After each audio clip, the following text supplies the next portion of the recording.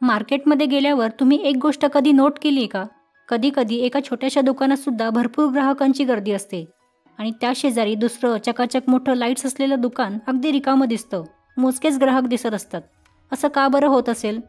कारण आहे त्या छोट्या दुकानदाराचा कॉन्फिडन्स त्या छोट्याशा दुकानात समजा तुम्ही फळं घेताय. तेव्हा दुकानदार तुम्हाला फळ कोणतं चांगलं आहे कोणतं फ्रेश आहे ते निवडून देतो योग्य तो भाव पण देतो.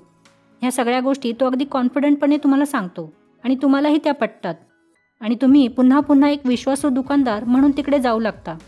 याचाच अर्थ योग्य तो कॉन्फिडन्स असेल तर तुम्ही हवी ती गोष्ट साध्य करू शकता.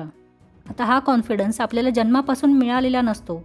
लहान बाळ जसं जन्म झाल्यावर अगदी छोटंसं नाजूक असतं आणि जसं जसं मोठं होत जातं तसं तसं त्याचे मसल्स आणि बाकीच्या गोष्टी डेव्हलप होत जातात. कॉन्फिडन्स अगदी असाच आहे. तो असा चार पाच दिवसात किंवा एक महिन्यात येत नसतो. छोट्या छोट्या गोष्टींमध्ये बदल केला तर तो हळूहळू डेव्हलप होतो. त्या गोष्टी कोणत्या? चला बघूयात. नंबर एक स्वतःला छोटे छोटे चॅलेंजेस द्या. ज्या गोष्टी करायला तुम्हाला भीती वाटते त्या गोष्टी करा. मग ती स्विमिंग शिकायची भीती असू शकते अनोळखी लोकांशी बोलण्याची भीती असू शकते त्या गोष्टी ओळखा आणि त्यांना फेस करा. विश्वास ठेवा ज्या दिवशी तुम्ही तुमच्या मनातील भीतीला फेस करताल त्या दिवशी तुम्ही कॉन्फिडन्सची पहिली पायरी चढली म्हणून समजा. दोन सोशल व्हायला शिका.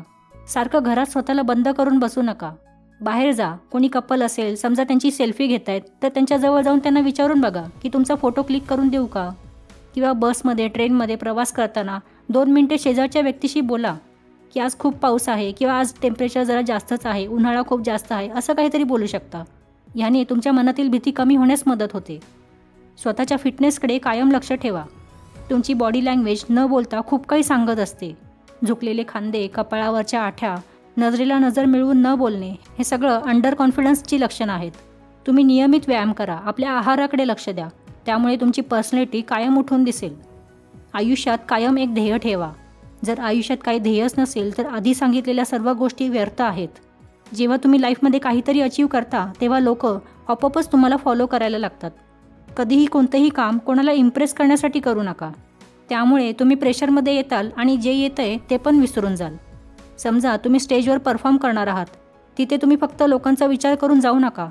तर स्वतःला ही गोष्ट करून बघायची आहे की मला जमते का मी घाबरतो का किंवा मी घाबरते का आधी ती गोष्ट तुम्ही स्वतःसाठी करा.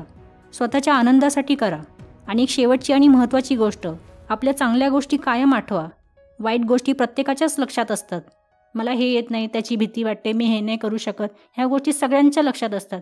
पण आपल्या चांगल्या गोष्टी आहेत ना त्यांना कायम आठवा. चांगल्या गोष्टी लक्षात ठेवल्या तर त्या तुम्हाला आयुष्यात पुढे जाण्यासाठी कायम मदत करतात.